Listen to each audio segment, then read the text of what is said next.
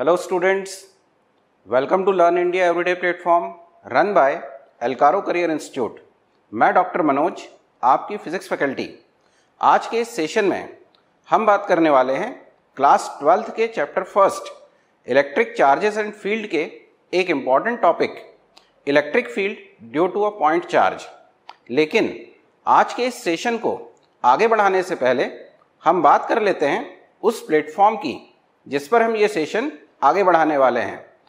एलकारो career institute, class six से लेकर class twelfth तक के सभी सब्जेक्ट्स की प्रिपरेशन आपको करवाता है।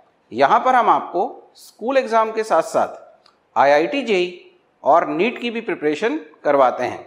तो चलिए स्टार्ट करते हैं आज के सेशन में।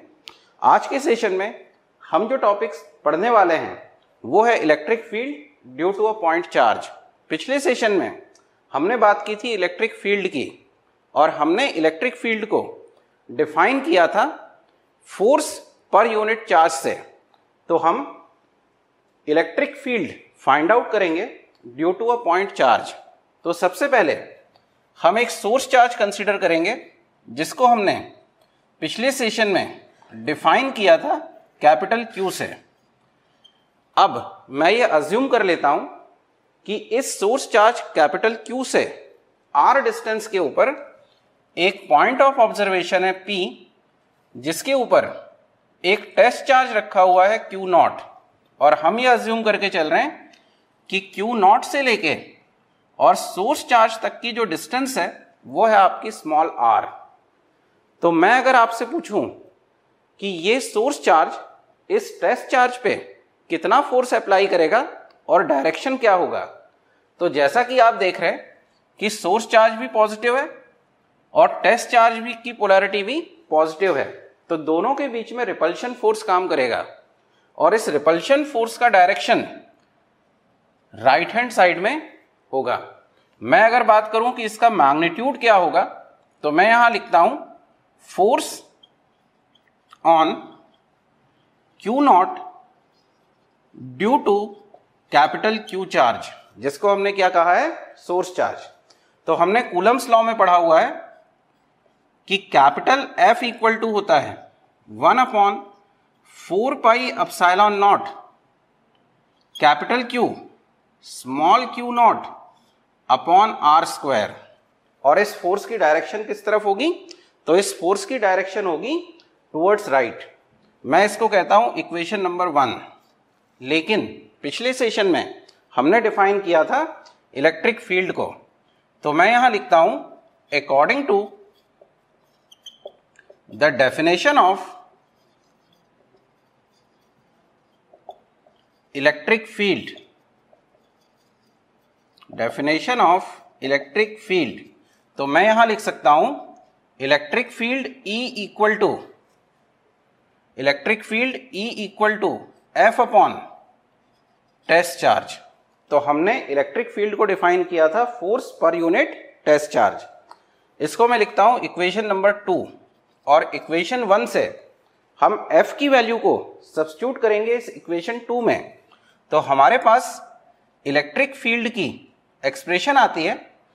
एफ़ की जगह मैंने लिखा one upon four pi epsilon naught capital Q Q naught upon R square ये इक्वेशन वन से वैल्यू हमने यहाँ एफ़ की जगह सब्सिट्यूट की है और वन अपॉन क्यू नॉट को हमने वैसा का वैसा रख लिया। हम देखते हैं कि ये क्यू नॉट से क्यू नॉट कैंसिल आउट हो जाएगा और आपके पास इलेक्ट्रिक फ़ील्ड की जो एक्सप्रेशन आएगी, वो होगी one upon four pi epsilon naught q upon r square ये आपकी फाइनल एक्सप्रेशन है इलेक्ट्रिक फ़ील्ड की due to a point charge इस फॉर्मूले के अंदर one upon four pi epsilon naught ये इलेक्ट्रोस्टैटिक फोर्स कांस्टेंट हम कूलम्स लॉ से पढ़ते हुए आ रहे हैं। और इसकी वैल्यू हम जानते हैं कि इसकी वैल्यू होती है nine into ten raise to power nine newton metre square पर कूलाम स्क्वायर ये जो यहाँ चार्ज है क्यों? बच्चों, जो कंफ्यूजन होता है कि ये चार्ज कौन सा है तो ध्यान रखें यहाँ दो चार्जेस हैं। एक है सोर्स चार्ज और एक है टेस्ट चार्ज हम इलेक्ट्रिक फ़ील्ड निकाल रहे हैं सोर्स चार्ज की। तो हमें यहाँ क्यू की जो वैल्यू रखनी है, वो हमेशा हम किसकी रखेंगे? सोर्स चार्ज की। और ये जो आर है, ये इन दोनों चार्जेस के बीच का डिस्टेंस है। या मैं कह सकता हूँ कि इस सोर्स चार्ज से जिस डिस्टेंस के ऊपर मैं इलेक्ट्रिक फ़ील्ड को कैलकुलेट कर रहा हूँ, उस डिस्टेंस को हमने किससे रिप्रेजेंट किया है? आर डैश से। तो ये जो इक्वेशन थ्री है, इस इक्वेशन थ्री को यूज़ करके हम किसी भी पॉइंट चार्ज के कारण पर्टिकुलर डिस्टेंस के ऊपर इलेक्ट्रिक फ़ील्ड की वैल्यू निकाल सकते हैं। लेकिन मैं अगर इस इक्वेशन को यूज़ करके इस पॉजिटिव सोर्स चार्ज के कारण प्रोड्यूस होने वाली इलेक्ट्रिक फ़ील्ड को ग्राफ के फॉर्म में रिप्रेजेंट करना चाहूँ तो देखें मैं इसको ग्राफ में किस तरह से रिप्रेजेंट कर सकता हूँ। एक टू डायमेंशनल प्लेन अज्यूम करते हैं। ये हो गई X axis negative X axis positive Y axis and negative Y axis according to that formula हम ये कह सकते हैं कि इलेक्ट्रिक फ़ील्ड जो है वो इन्वर्सली प्रोपोर्शनल है आर स्क्वायर के। तो अगर मैं इस सेंटर पॉइंट के ऊपर एक पॉजिटिव चार्ज को रखा हुआ अज्यूम करता हूँ कैपिटल क्यू जो मेरा सोर्स चार्ज है तो हम ये जानते हैं कि इलेक्ट्रिक फ़ील्ड हमेशा पॉजिटिव चार्ज से बाहर की तरफ़ जाती है। और यहाँ से अगर ये आउटसाइड जाएगी तो ये पॉजिटिव एक्स एक्सेस की डायरेक्शन में होगी। उसी तरह से मैं अगर एक्स डैश डायरेक्शन में देखूँ तो इस इलेक्ट्रिक फ़ील्ड का डायरेक्शन नेगेटिव एक्स डायरेक्शन में है। तो इस तरफ़ इस इलेक्ट्रिक फ़ील्ड को हम पॉजिटिव कहेंगे और इस तरफ़ इलेक्ट्रिक फ़ील्ड को हम नेगेटिव कहेंगे। इस इलेक्ट्रिक फ़ील्ड को ग्राफ पे रिप्रेजेंट करते समय हम शो करेंगे वाई एक्सेस पे। तो पॉजिटिव इलेक्ट्रिक फ़ील्ड जो होगी वो पॉजिटिव वाई एक्सेस पे और नेगेटिव इलेक्ट्रिक फ़ील्ड आपकी होगी नेगेटिव वाई एक्सेस पे। और एक्स एक्सेस पे हम लेके चलेंगे डिस्टेंस आर को। मैं अगर इस इक्वेशन थ्री में आर की वैल्यू ज़ीरो पुट करता हूँ आर की वैल्यू ज़ीरो रखने का मतलब ये हो गया कि ये जो आपका पॉइंट ऑफ़ ऑब्जर्वेशन है, जिस पे आप इलेक्ट्रिक फ़ील्ड कैलकुलेट कर रहे हैं, ये बिल्कुल पास में है, इस सोर्स चार्ज के। तब आर की वैल्यू कितनी होगी? ज़ीरो और मैं अगर इस फॉर्मूले में आर की वैल्यू ज़ीरो पुट करता हूँ तो हम ये कह सकते हैं कि इलेक्ट्रिक फ़ील्ड की वैल्यू इन्फिनिटी होगी। इलेक्ट्रिक फ़ील्ड की वैल्यू कितनी होगी? इन्फिनिटी लेकिन मैं अगर आर की वैल्यू को इन्फिनिटी कर देता हूँ तो इलेक्ट्रिक फ़ील्ड की वैल्यू ज़ीरो होगी। तो जब हम इसको ग्राफ के फॉर्म में रिप्रेजेंट करते हैं तो हमारे पास दो कोऑर्डिनेट होंगे। पहले कोऑर्डिनेट में जब इलेक्ट्रिक फ़ील्ड का डायरेक्शन पॉजिटिव एक्स एक्सिस की डायरेक्शन में है और डिस्टेंस कितना है? ज़ीरो तो इलेक्ट्रिक फ़ील्ड इन्फिनिटी पे होगी। और जैसे जैसे मैं इस डिस्टेंस को बढ़ाता जाऊँगा वैसे वैसे इलेक्ट्रिक फ़ील्ड की वैल्यू कम होती जाएगी और at infinite distance electric field की वैल्यू ज़ीरो होगी। क्योंकि at infinite distance electric field की ज़ीरो होगी तो हम इसको एक पैरेलल लाइन से यू शो करेंगे कि ये कहीं इनफाइनाइट डिस्टेंस के ऊपर जाके मिल रही होगी। लेकिन अगर मैं नेगेटिव एक्स एक्सिस पे इलेक्ट्रिक फ़ील्ड की बात करूँ तो इसका डायरेक्शन नेगेटिव है। इसका मतलब ये वाई डैश एक्सिस से स्टार्ट होगी इनिशियली जहाँ आर इक्वल टू ज़ीरो है, वहाँ इसकी वैल्यू होगी इन्फिनिटी लेकिन जैसे जैसे मैं डिस्टेंस को बढ़ाता जाऊँगा, वैसे वैसे इस इलेक्ट्रिक फ़ील्ड की वैल्यू जो है, वो ज़ीरो की तरफ़ रीच करती जाएगी. तो जब हम इस इक्वेशन नंबर थ्री को ग्राफ के फॉर्म में रिप्रेजेंट करते हैं तो कुछ इस तरह का ग्राफ हमें मिलता है.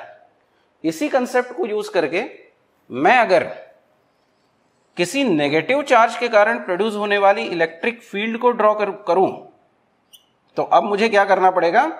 इसके सेंटर पॉइंट पे ये जो कोऑर्डिनेट सिस्टम है इसके सेंटर पॉइंट पे मुझे रखना पड़ेगा एक नेगेटिव चार्ज अब हम ये जानते हैं बच्चों की किसी नेगेटिव चार्ज के कारण इलेक्ट्रिक फ़ील्ड हमेशा टूवर्ड्स आती है। तो यहाँ इलेक्ट्रिक फ़ील्ड का डायरेक्शन टूवर्ड्स नेगेटिव चार्ज होगा। तो हम ये कह सकते हैं कि x डैश एक्स के ऊपर इलेक्ट्रिक फ़ील्ड जो है, वो पॉजिटिव है, जबकि x एक्सेस के ऊपर इलेक्ट्रिक फ़ील्ड की डायरेक्शन नेगेटिव है।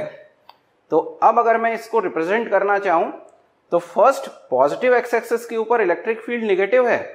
पॉजिटिव एक्स एक्सेस के ऊपर इलेक्ट्रिक फ़ील्ड नेगेटिव है, लेकिन r इक्वल टू ज़ीरो के ऊपर इलेक्ट्रिक फ़ील्ड इंफिनिटी है। और जैसे जैसे मैं डिस्टेंस को बढ़ाता जाऊँगा वैसे वैसे इलेक्ट्रिक फ़ील्ड की वैल्यू ज़ीरो की तरफ़ रीच करेगी।